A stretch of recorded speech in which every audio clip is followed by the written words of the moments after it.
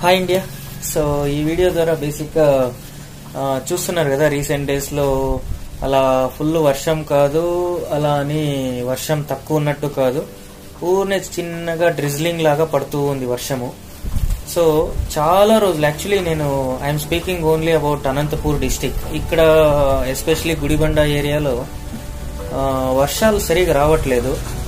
ఇక్కడ చాలామంది వేరుశనగ పైన డిపెండ్ అయి ఉంటారు. అది ఒక ట్వంటీ ట్వంటీ ఫైవ్ డేస్ వర్షం రాకున్నా తట్టుకునే లాంటి క్రాప్ కాబట్టి ఏదో ఎలాగో నెట్టేస్తారు. బట్ స్టిల్ ఇలాంటి small term crops I mean రైతులు పండించేటప్పుడు ఇలాంటి వర్షాలపైన డిపెండ్ అయ్యి పండించేటప్పుడు ఎన్ని ఛాలెంజెస్ వస్తాయనేది ఫార్మర్కు గమనించాలి.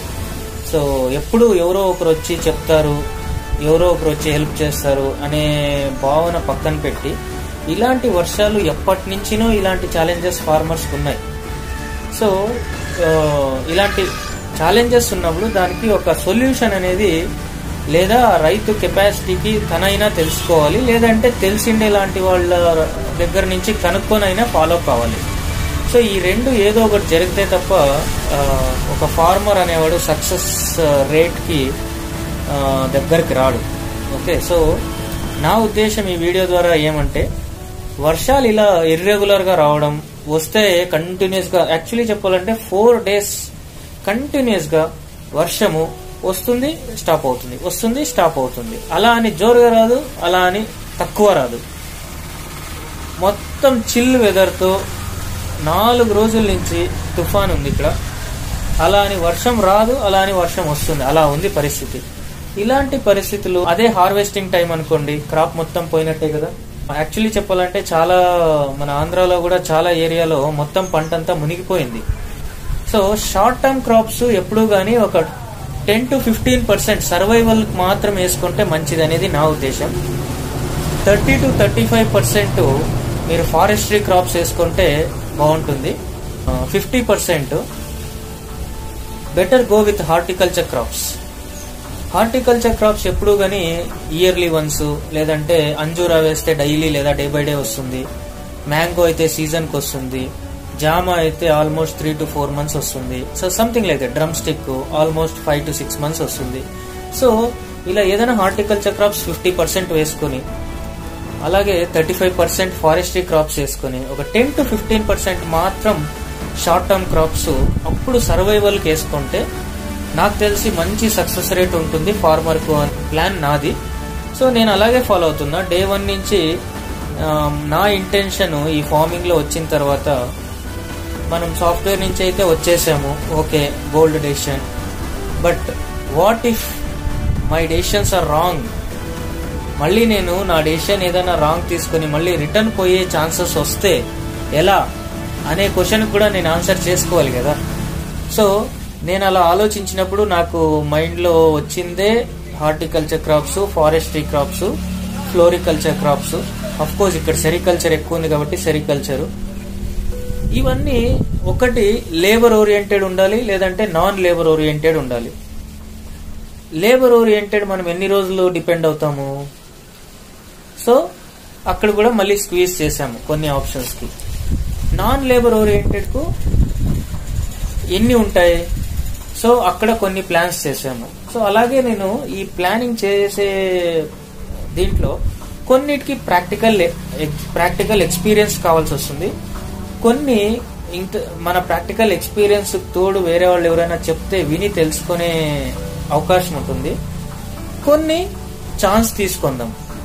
చలో చూస్తాం ఏమవుతుందో అని. సో ఇవి కొన్ని ఆప్షన్స్ ఉంటాయి. సో నేనైతే ఇలాగే చేశాను. ఇప్పుడు నేను మ్యాంగో వేయడం అదే రీజన్ అంజూర వేయడం అదే రీజన్ నేరేడు వేసాము జామ వేసాము దానిమ్మ వేసాము ఇది కందులు వేసాము ఓకే టెంకాయ చెట్లు వేసాము. Over the period of time వస్తుందని అంటాము.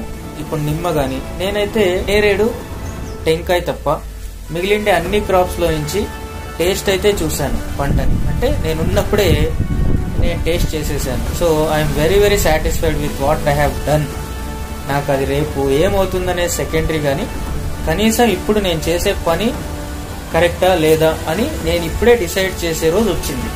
సో ఐఎమ్ హ్యాపీ ఇంకొకటి ఈ short term crops irregular climatic conditions irregular వెదర్కు అది ఫార్మర్కి అంత సూటబుల్ కాదు. సో అది తెలుసుకోకున్నట్టు చాలా మంది కొన్ని ఉన్నాయి షార్ట్ టర్మ్ క్రాప్స్లో కూడా మంచి క్రాప్స్ ఉన్నాయి. నేను లేదన్నట్లేదు కానీ ఇక్కడ షార్ట్ టర్మ్ క్రాప్స్లో ప్రాబ్లం ఏమవుతుందంటే ఎక్కువగా మనకు అవసరానికన్నా ఎక్కువ పండిస్తాము. మనకు అవసరానికన్నా ఎక్కువ పండించినప్పుడు ఛాలెంజ్ ఏమి? మార్కెటింగ్ మార్కెటింగ్ మనమే సొంతంగా చేయగలమా? చేయలేము. సో ఎలా చేయాలి? మార్కెట్కి తీసుకొని పోవాలి. లేదంటే దళారీ వ్యవస్థని డిపెండ్ కావాలి. సో దళారీ వ్యవస్థ డిపెండ్ అయితే నిజంగా మనం ఎక్స్పెక్ట్ చేయగలమా? మనం సర్వైవ్ అవుతాము అలాంటి క్రాప్స్ వేసుకొని సో నా ఉద్దేశం మనం ఎంత పండిస్తామనేది కాదండి. మనకి ఎంత ప్రాఫిట్ వచ్చింది మనం ఎంత సక్సెస్ఫుల్ రేట్లో ఉన్నామనేదే ఇంపార్టెంట్ నాకు. ఇప్పుడు ఎవరో పక్క పొలం వాళ్ళు ఎప్పుడు ఏదో ఒకటి చేసుకుంటూ ఎంతో కొంత సంపాదిస్తున్నారు కదా అని అదేమో అంటారే మేక పులిని చూసి మేక వాత పెట్టుకున్నట్టు అంటే మేక పులి యాక్చువల్లీ గంభీరంగా చాలా బోల్డ్గా ఉంటుంది అందరిని బెదిరిస్తుంటుంది అలా అని మేక కలర్ మార్చినంత మాత్రాన అవుతుందా? సో అదేవిధంగా పక్కోడు ఏం చేస్తున్నాడు అనేది మనకి ఇంపార్టెంట్ కాదు. మనం ఏం చేస్తున్నాం? మనం చేసే పనిలో మనకు మిగులుతుందా లేదా? మిగలాలంటే ఏం చేయాలి? ఇవి కొన్ని మనము మైండ్లో పెట్టుకోవాలి. అలా పెట్టుకొని మనం ఏదైనా సాధిస్తే డెఫినెట్గా ఫార్మర్ అనేవాడు వెనక తిరిగే అవసరం రాదు. ఓకే? సో అలా కాకున్నట్టు మనము ఇప్పుడు సీజన్ ఉంది సో వేసేద్దాం. మిరప వేస్తాం వస్తుంది. టమోటో వేస్తాం వస్తుంది. సో నిజంగా వస్తుందండి. కానీ అది లాటరీ లాగా ఒక్కసారి వస్తే నాలుగు సార్లు రాదు. లేదా నాలుగు సార్లు వస్తే ఇంకొక రెండు సార్లు రాదు. సో ఓవరాల్గా యావరేజ్గా తీసుకుంటే అది లేదా యావరేజ్గా మనం పెట్టుబడి అయినా వస్తుంది లేదంటే మైనస్ దిగిపోతాం. సో మనం షార్ట్ టర్మ్ క్రాప్స్ వేస్తున్నామా లేదా అనేది ఇంపార్టెంట్ కాదు. మనం ఎంత బిజీగా ఉన్నామా అనేది ఇంపార్టెంట్ కాదు. మనకి ఎంత ఇన్వెస్ట్ చేస్తున్నాం మనకి ఎంత రిటర్న్ వస్తుంది అదే ఇంపార్టెంట్ నాకైతే. ఇంకొకటి ఏది కానీ మనము ఒక వర్క్ పైన డిపెండ్ కాకూడదు. ఈ ఇది యాక్చువల్లీ ఫార్మర్స్కు అంటే గ్రౌండ్ లెవెల్ ఫార్మర్స్కు అప్లై కాకపోయినా కనీసం ఇప్పుడు చాలామంది సాఫ్ట్వేర్స్ ఫార్మింగ్ సెక్టార్కి వస్తున్నారు కాబట్టి వాళ్ళ కోసం చెప్తున్నా. ఎప్పుడు కానీ ఒక దానిపైన అంటే ఒక వర్క్ పైన డిపెండ్ అయ్యి వచ్చినామంటే ఆ వర్క్ ఫెయిల్ అయింది అనుకోండి నెక్స్ట్ మనకు ఇన్కమ్ కంప్లీట్గా స్టాప్ అయిపోతుంది. సో ఎప్పుడైనా కానీ మనం ఒక సెక్టార్ నుంచి ఇంకో సెక్టార్కి వచ్చినప్పుడు ప్లస్ మైనస్లు ఖచ్చితంగా ఉంటాయి. ఎవరికి ప్లస్లు మాత్రమే వస్తాయి అనేదంతా ఇంపాసిబుల్ అలా ఉంటే ప్రతి సెక్టారు ప్రతి వాళ్ళు ఆ సెక్టార్కే పోతారు. సో అలా ఉన్నప్పుడు మనము అగ్రికల్చర్ చేయాలి. అలాగే హార్టికల్చర్లో కూడా ట్రై చేయాలి. మనం నర్సరీస్ చేసుకోవచ్చు. మనము న్యాచురల్ ఫార్మింగ్ ప్రోడక్ట్స్ చాలామంది అమ్ముకోలేకపోతుంటారు. సో అలాంటి వాళ్ళ దగ్గర పర్చేస్ చేసి సేల్ చేయొచ్చు లేదంటే మనం పర్సనల్గా కూడా కన్జంప్షన్ చేయొచ్చు. సో మనకు హెల్తీ హెల్తీగానే ఉంటాము ప్లస్ అడిషనల్గా ఇన్కమ్ కూడా వస్తుంది. ఒక సాఫ్ట్వేర్ ఎంప్లాయ్ అయినా ఒక రైతు అయినా తన టాలెంట్ నమ్ముకుంటాడు తప్ప బిజినెస్ అని అనుకోకూడదు. ఇక్కడ రైతు కూడా తన కష్టాన్ని అమ్ముతాడు తన కష్టాన్ని తన మార్కెట్ చేస్తాడు. ఒక సాఫ్ట్వేర్ ఎంప్లాయ్ కూడా తన ఇంటెలిజెన్స్ని తను సేల్ చేస్తాడు. సో ఈ విధంగా మనము అగ్రికల్చర్ సెక్టార్లో వచ్చినామన్నంత మాత్రాన ఓన్లీ అగ్రికల్చర్ మాత్రమే చేయాలి అనేది ఏమి ఉండదు. సో మీరు ఆల్టర్నేటివ్గా సస్టైనబుల్ అగ్రికల్చర్ చేసుకుంటూ మీరు లైఫ్లో కూడా సస్టైనబిలిటీ పెంచుకుంటూ పోవాలి. సక్సెస్ కావడానికి చాలా చాలా సింపుల్ పాయింట్ ఏమంటే ట్రస్ట్ చెప్పడానికి చాలా ఈజీ దాన్ని డెవలప్ చేయడానికి చాలా చాలా కష్టం ఉంది. నేను నాకు తెలుసు అది మోస్ట్లీ చాలా మందికి మీకు కూడా తెలిసి ఉంటుంది. మన బ్రాండ్ కానీ లేదా మనం చెప్పే విధానం కానీ ఇంకొకరిని నమ్మించాలంటే మనము ఒక మాట పైన ఉండాలి ఒక ట్రస్ట్ అనేది డెవలప్ చేయాలి. ట్రస్ట్ అంటే ఒక నమ్మకం. మార్కెట్లో ఇంతమంది ఉన్నారు నా ప్రోడక్ట్ ఎందుకు కొంటారు? బికాస్ దే ట్రస్ట్ యూ వాళ్ళు మిమ్మల్ని నమ్ముతారు కాబట్టి మీ దగ్గర కొంటారు. లేకపోతే నేను ఒక పల్లిలో ఉన్నా నేను కూడా చాలా వరకు సీడ్స్ కానీ మ్యాంగోస్ కానీ మిషనరీస్ కానీ లేదంటే ట్రైనింగ్స్ కానీ ఇవన్నీ ఇక్కడి నుంచి ఎలా చేయగలుగుతున్నాను? ఓన్లీ థింగ్ బికాస్ చాలామంది నన్ను యూట్యూబ్ ఛానల్ ద్వారా కూడా ఫాలో అవుతున్నారు. కొంతమంది పర్సనల్గా మీట్ అయినారు. నాకు ప్రీవియస్ అంటే సాఫ్ట్వేర్లో ఉన్నప్పుడు కూడా కొంతమంది ఫ్రెండ్స్ నేను చెప్పింది నేను చెప్పేది అప్పుడు కూడా నన్ను చూశారు. So most of them will believe in me because of my straightforwardness నేను చెప్పే విధానాన్ని నేను హ్యాండిల్ చేసే ఛాలెంజెస్ని విత్ సొల్యూషన్స్తో వాళ్ళకు ఒక ట్రస్ట్ అనేది నా పైన ఏర్పడింది.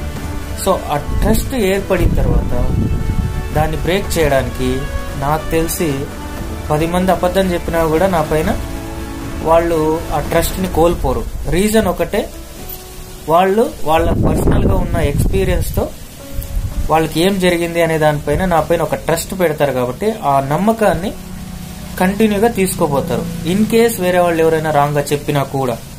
సో ఆ ట్రస్ట్ అనేది మనం డెవలప్ చేస్తే మనం ఏం టచ్ చేసినా సక్సెస్ రేట్లో పోవచ్చు. అలాగని ఎప్పుడూ కానీ ఏ ఫార్మర్ అయినా గ్రౌండ్ లెవెల్ ఫార్మర్ అయినా లేదా సాఫ్ట్వేర్ నుంచి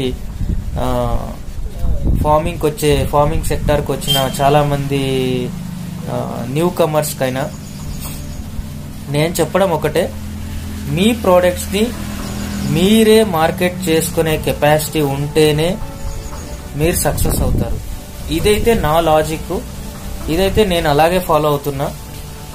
నాకు ఇన్ని రోజుల నుంచి ఇన్ని రోజుల నుంచి నేను ఇక్కడ చేస్తున్న నా ఎక్స్పీరియన్స్తో నేను తెలుసుకున్న మాట ఇది నేను ఎప్పుడు ఒక కంపెనీలో వర్క్ చేస్తే కంపెనీ డెవలప్ అవుతుంది.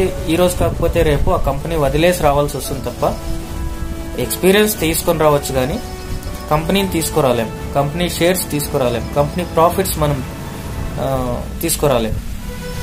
అదే మన మనది అంటూ ఒక బిజినెస్ కానీ మనది అంటూ ఏదైనా ఒక సెక్టర్ ఉంటే అప్పుడు ఇనిషియలీ మిస్టేక్స్ చేయొచ్చు.